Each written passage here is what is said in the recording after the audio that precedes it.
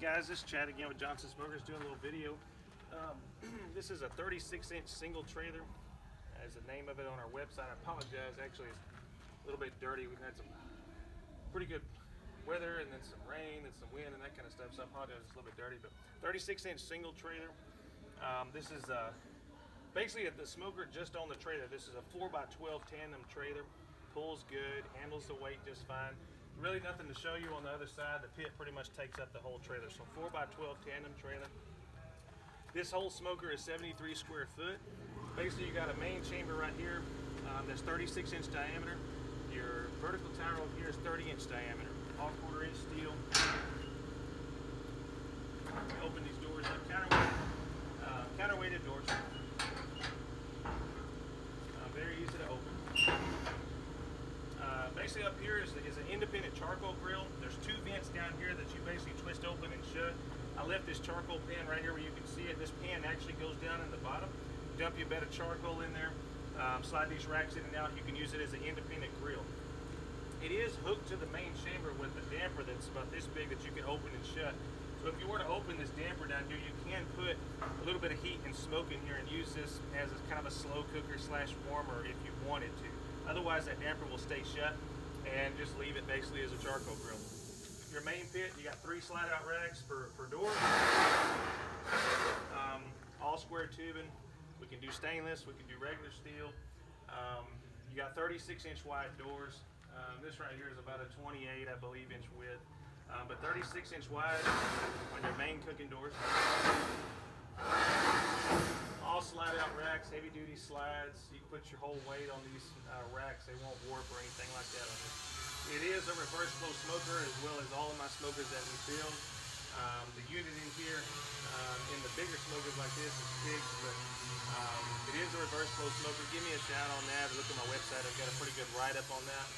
Um, your vertical smoker on the back, it's got the same kind of inlet that we use a lot. It's about this big. The flip open and shut damper that's right in here um, that, that, serves this uh, vertical chamber. Um, you leave it shut, it's basically a warmer. You open it up, it'll be a, uh, a, a cooker basically. Um, the racks in here, they turn like a little lazy Susan. Uh, the reason we do that is uh, it's a little bit hard for you to reach back here in the back without burning yourself. So you can kind of set a brisket in here, set some ribs or chicken or whatnot. You can rotate a little bit. You can load this whole thing up. Um, same thing when you take everything out, you can just turn it, makes it easier for you.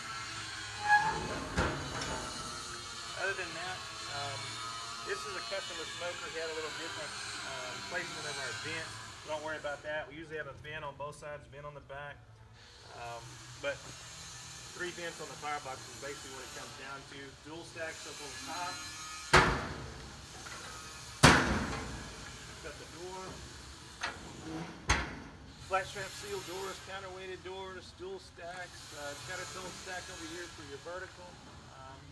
Pretty easily open and shut that. Um, 4x12 trailer, 73 square foot. It's called a 36 inch single trailer on our website. This is definitely a definitely a catering size trailer. I'm going to walk over here and let you guys take a look at the firebox. Smokers this size, like I said, obviously um, it's going to be more of a catering size trailer. Um, like I said, there's really not much you want to do on the other side. You don't have the room. Firebox door on the back. Um, got a wood rack in there to get you some proper ventilation. Um, Self-tighten handle. Like I say, three vents on the firebox. Placement's a little different on this one just because of customer specification. Um, that is customer logo on here, so disregard that. You can put your own logos on here. Other than that, um, definitely a definitely a big smoker. This is not something you want to park park at your house for your kids. Um, definitely a smoker you want to do some make some money with. Um, use at big parties, lots of catering. If you want to do competition, um, that'd be fine too. It might be a little overkill for that, but 73 square foot, it's a big smoker.